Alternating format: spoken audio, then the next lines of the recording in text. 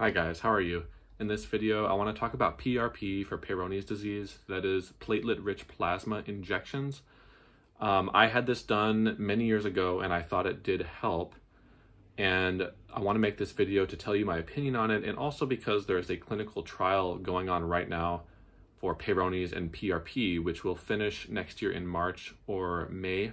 I will link that in the description of the video. And um, basically, I, I do think it helped, so I just want to kind of go on record saying that. Um, what PRP is, is they draw some of your blood and then they spin that around in a centrifuge to separate the plasma from your blood. And then they inject that plasma into a part of your body that's injured in order to promote healing, in this case, the penis. So there's a lot of research on PRP and ligament, tendon, or muscle uh, injuries. And that research does show that PRP promotes healing. Um, I think it's a little bit complex, maybe a little bit messy of a science, which I will talk about in a moment, but it does seem to work, um, and it does seem to even prevent fibrosis in some models.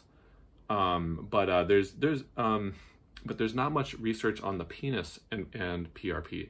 There's some research on PRP and ED, and there is one study though on Peyronie's and PRP plus hyaluronic acid injections.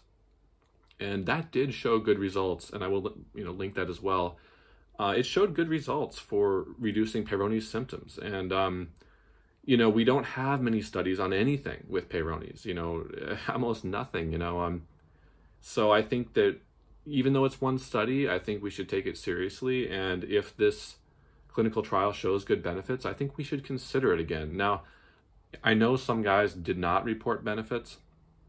And when PRP for Peyronie's kind of became a thing on the forum, um, we had kind of a little trial where a bunch of members tried PRP, including myself, and then we reported our results. And some guys um, reported great results and even um, showed before and after pictures. Other guys reported really no benefit. And, you know, I think the, the most recent post on that thread actually is um, mostly negative. I think the guy um, even showed pictures and said, you know, his pay- Peyronie's keeps getting worse despite the PRP, and it was a waste of money. So, and that's something you want to consider because I think it costed me about a thousand dollars just to get this this injection. Now, of course, that's you know not much money at all compared to Xiaflex, and I personally think PRP is more promising than Xiaflex, or at least. Um, more useful in some cases, but we'll see. You know, we don't have the information yet, but um, you know whether or not it's worth it for you to do, I really can't say. It's a lot of money, but I will say that the first thing you want to do if you have Peyronie's, you know, I'm not a urologist, I'm not a doctor, but my opinion is that you should be doing traction right away for Peyronie's and consider the oral therapies, you know, Cialis, um, and the supplements, which I will talk about in another video. But really, in my opinion, my own personal opinion, heat and traction and diet um, and modifying your sexual habits, that's what you want to do right off the bat. And do you really need to spend a $1,000 on an injection? I don't think so. But to tell you what, you know, my experience was, I'll tell you that, you know, the sheer fact that you are putting extra volume in the penis, I think that alone is therapeutic. And I could tell, uh, you know, for a year and a half, I had this extra volume in my penis. Um, you know, my penis was thicker and longer. It was almost too big with this PRP, um, harder and everything. Um, it actually felt really good. And the extra volume made traction more effective. Um, it really helped pop out those dents and kind of fill things out. And if I had worsening again, if I noticed some narrowing or something, I would probably do PRP again. Uh, I, you know, I, I mean, maybe I'll change my mind. Who knows? You know, if I really did get worsening, what I would do. But I can see myself doing it again because when you have dents or hourglassing, that's very hard to to deal with. You really have to do a lot of stretching. I mean, I had to do a lot of traction by hand to really um, get my dents to smooth out at a lot of different angles and really work with it. You know, and um, it's difficult. And I think having that extra volume helps I'm not going to say that it's going to cure Peyronie's. Clearly, that's not the case. But anything to just kind of push out those dents, I think is helpful. Now, ironically, in the clinical trial, they actually excluded men with hourglass deformity. And I think that's really unfortunate because my whole thing, in my opinion, is that, you know, the whole reason to do PRP would be to, to um, treat the hourglass deformity. And in fact, there was a guy I was coaching for a while, a young guy, uh, 19 um, or so.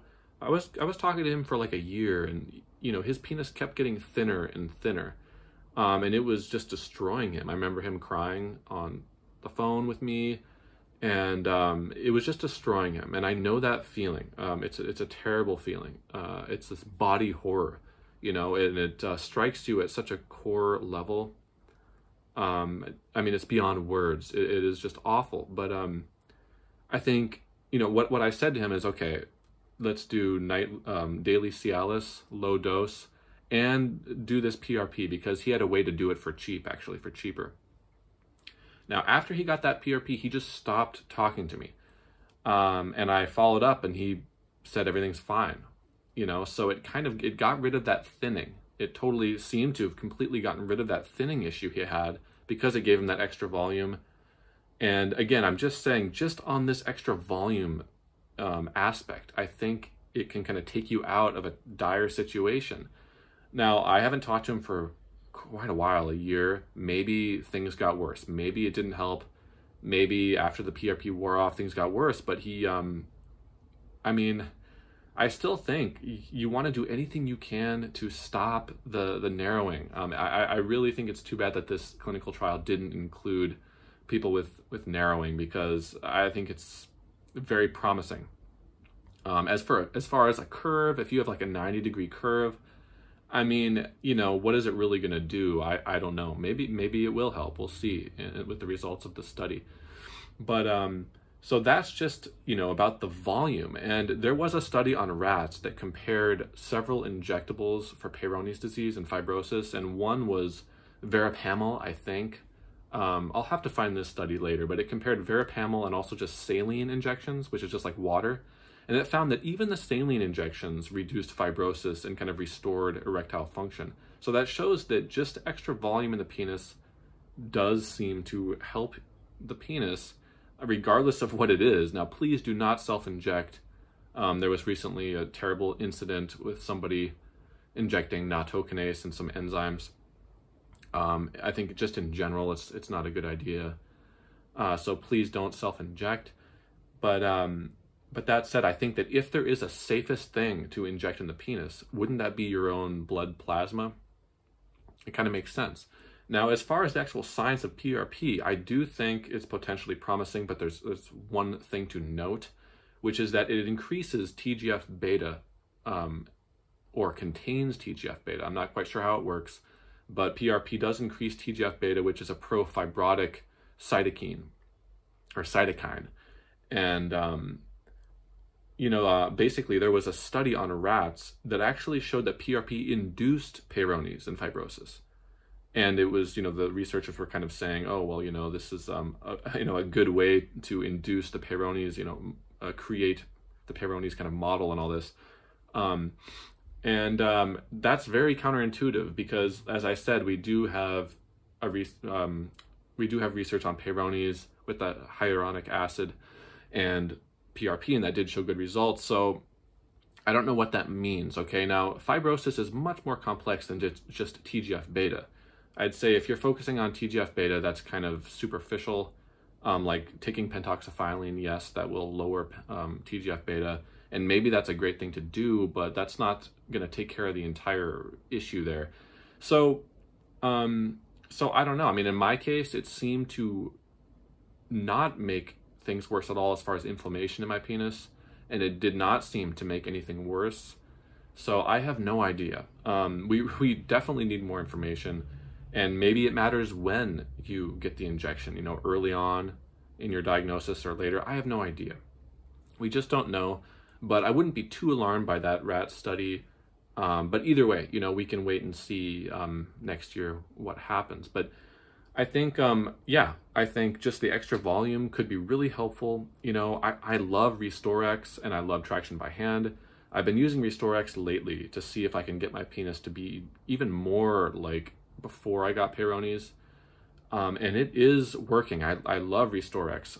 Um, and I'm thinking to myself, man, this really provides a good stretch.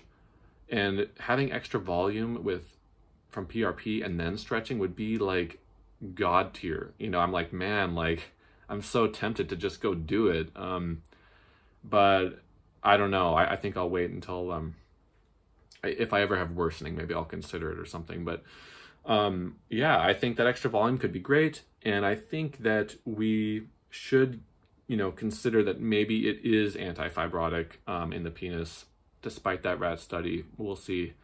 Um, that's really it, guys. Uh, I, I just want to go on record saying that I do think it's potentially useful, and please check out the clinical trial. You know, um, I'll make another video when the trial is over. But that's really it. I, um, you know, I'm really sorry to any of you who got it done and didn't have benefits, you know, um, that really sucks. And again, don't waste your money on injections like right away. I, I mean, personally, I would say just do traction, change your diet to one that is very anti-diabetic, keeping your insulin very low, ketogenic diet, a healthy ketogenic diet, vegan or carnivore does not matter, um, and consider Cialis and that's about it. But um, yeah, it, and and again, yeah, if if you were to, um, I guess I should say, if you were to spend money on one thing for Peyronie's, I would say go for RestoreX because it's five hundred bucks. It's a lot, but you know, I do think it's the best traction device, and I would, you know, I would recommend, yeah, if you're gonna buy anything, make it RestoreX. But that is it, guys. Um, let me know if you got the shot what you thought, if it helped, if it didn't help at all, um, or you know if you know anything about the research, let me know in the comments. And as always, thank you so much for watching. I hope you guys are doing okay. I know this disease is absolutely brutal, and I, I will do my best to make more videos to be there for you guys in the future. So um, thank you and take care.